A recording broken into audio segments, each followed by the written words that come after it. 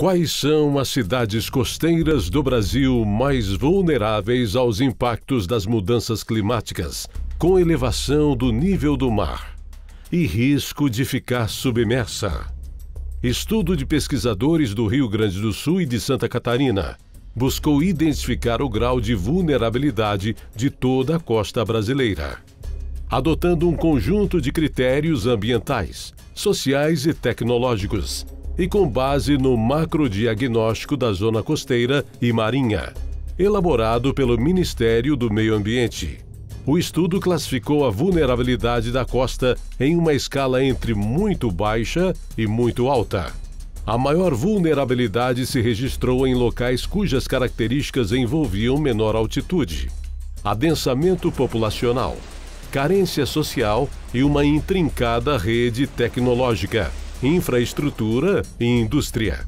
A partir dos resultados do estudo e dando prioridade à quantidade da população exposta ao risco social, elaboramos a lista das sete cidades litorâneas do Brasil mais vulneráveis a mudanças climáticas. Mas antes pedimos seu apoio ao nosso canal e dê o seu like. E vamos com a lista, em ordem decrescente. Sétimo, Rio de Janeiro e região metropolitana. A cidade maravilhosa terá pela frente um trabalho de adaptação às mudanças climáticas tão monumental quanto as suas principais atrações turísticas. Um total de 78% da população da região metropolitana do Rio de Janeiro, com pouco mais de 11 milhões de habitantes, foi considerada em situação de risco social cerca de 5 milhões vivem somente na capital. A área em torno da Baía da Guanabara apresenta uma das maiores intensidades populacionais do país. Em muitos pontos, o relevo é mais rebaixado, ficando exposto a eventos de inundações.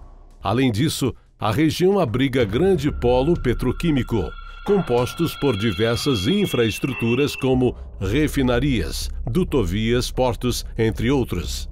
A infraestrutura também está exposta aos impactos das mudanças climáticas. Sexto, Salvador, Bahia e região metropolitana. Vai demandar muito a Carajé e esforço para que Salvador se prepare para os impactos das mudanças climáticas. A Baía de Todos os Santos, onde fica a região metropolitana de Salvador, tem população superior a 3 milhões e meio de habitantes.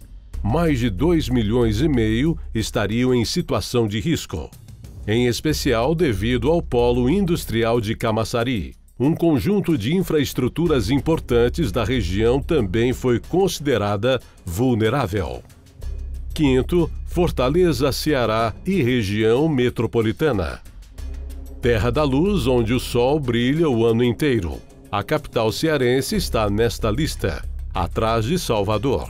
Em termos da população em situação de risco social no Nordeste, aproximadamente 1 milhão e 700 mil pessoas. De uma forma geral, o litoral do Ceará é marcado por processos erosivos como aqueles associados ao movimento de dunas. A cidade também pode ser atingida por inundações.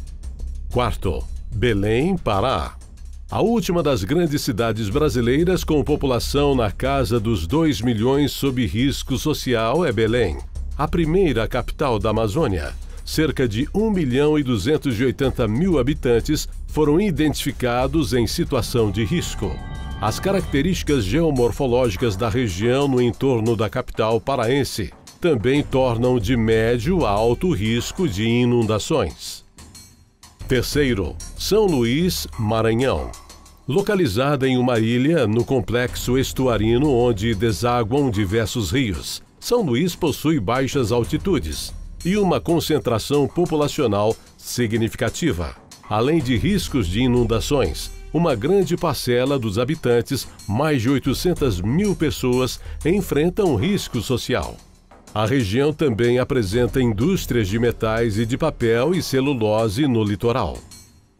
Segundo, Santos e Baixada Santista, São Paulo. Em Santos fica o maior porto marítimo do país e também da América Latina, que responde por quase 30% do fluxo de comércio brasileiro.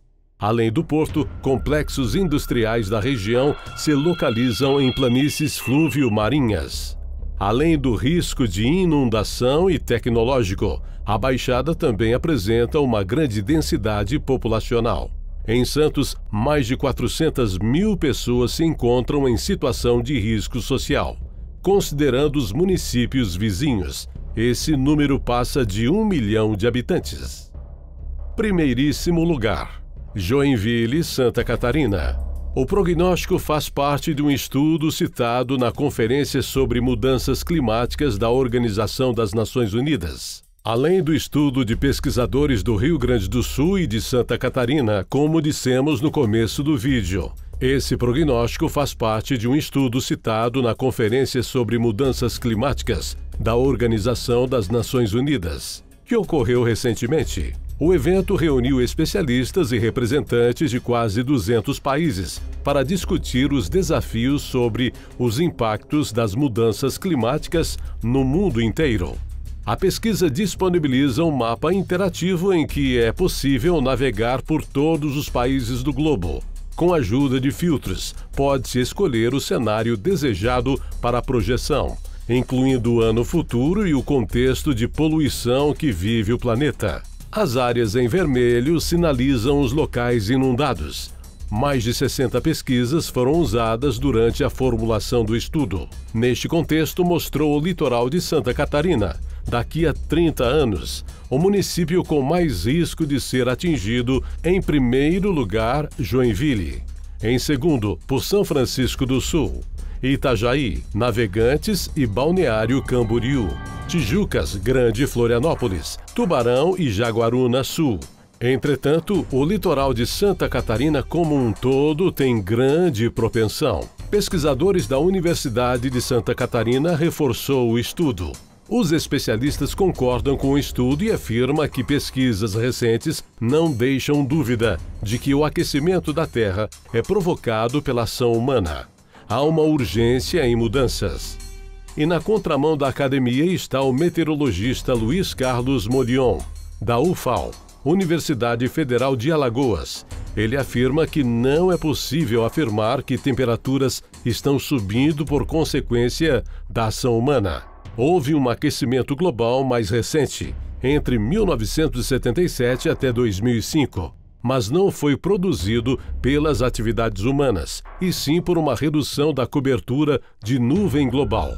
Ele disse que é muito difícil medir o nível do mar neste planeta, pois existem vários aspectos geofísicos que impedem que seja determinado. O movimento das placas tectônicas, por exemplo, o ciclo lunar e outros aspectos também influenciam, defende. E analisando a situação, e ocorrências de grandes chuvas e alagamentos em várias partes e seca, falta de água em outros lugares, sabemos que muitas coisas estranhas estão acontecendo em relação ao clima. E cabe a cada um de nós fazermos nossa parte e cuidar bem deste nosso planeta Terra. Esperamos que todos nós, e principalmente nossos governantes, se conscientizem Inscreva-se em nosso canal e dê o seu like. Faça o seu comentário sobre este assunto. E até a próxima!